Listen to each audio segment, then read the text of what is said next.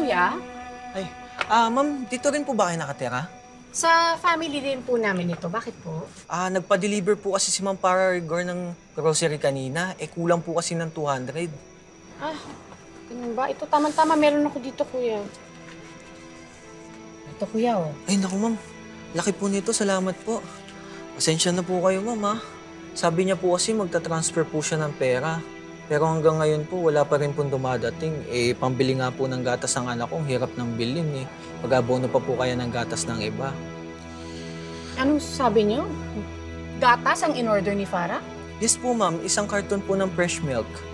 Ah, may picture ba kayo? Pwede niyo makita? Ah, yes, ma'am. Meron po. Ito po, ma'am, oh.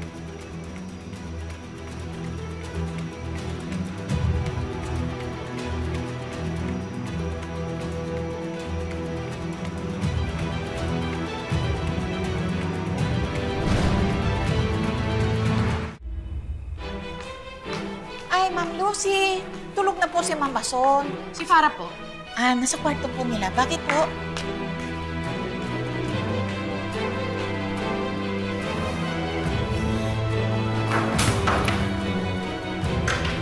Sino yan? Oh, alam mo, itatago mo yung ginawa mo. Malamang dito mo tinapon yan. ah. Ang alin? Lucy? Hoy! Ano bang hinahanap mo dyan?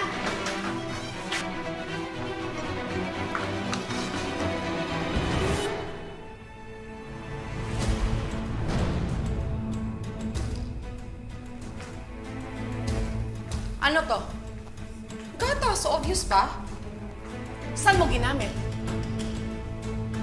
Naligo ako kanina sa gatas. Bakit? May problema? Bakit may laman pa to? Sinungaling ka, Farah. Nakausap ko yung nag-deliver nito. Pinili mo to bago maatakihin ng allergy si Cheska. What? Di ko akalain na ganito ka kasama, Farah. Alam mo, dami mong sinasabi. Tigilan mo nga yan. Wala akong ginagawa sa'yo, ha? At huwag mong isisi sa akin ang pagiging pabaya mong ina. Hindi ako pabaya. Sinadya mong lagyan ng gatas yung pagkain ni Cheska. Muntik na siyang mamatay dahil sa'yo, Farah. Napakawalang iya mo talaga. Lucy! Lucy, wait! Lucy! Lucy, wait! Lucy! Para! Para! Wait lang! Tigil kaya! Tama na, tama na! Ano ba? Tama na, tama na! Kakamulabog kayo ah! Ano bang nangyayari dito? Ay, Tinawag ako ni Biring. Galit na galit daw si Lucy, sinugod niya si Farah. Ano ba nangyari dito? Itong asawa mo, bigla na lang dumating dito at nananabunot. Ang sakit, ha? Lucy, kulang pa yan sa ginawa mo kay Cheska! Kung galit ka sa akin, Farah, ako ang saktan mo. Huwag mo itadama yung anak ko. Anong ibig mo sabihin, Lucy? Mamita siya ang naglagay ng gata sa pagkain ni Cheska. Ano? Farah, ito ba di, hindi! Hindi totoo yan! Gusto lang ako sisihin ng babae yan sa mga kasalanan niya dahil palpak siyang ina. Hindi ganyan ang aking Ano asawa. tinay, tingnan mo itong pruweba, oh! Pinadeliver mo to kanina! Tapos tinapon mo para walang makakita. Oh my God. Totoo ba yan?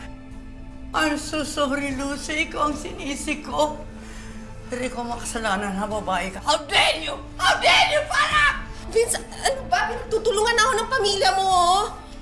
Farah, paano mo nagawa yun? Ba't mo nilalagay sa kompromiso ang anak namin?